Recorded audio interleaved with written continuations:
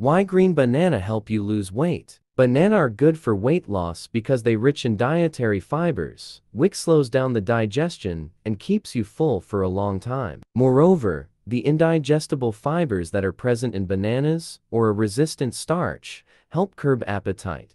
So when your cravings are suppressed, you don't overeat. So when you don't overeat, your body will begin to use stored fats or excess fats for your energy.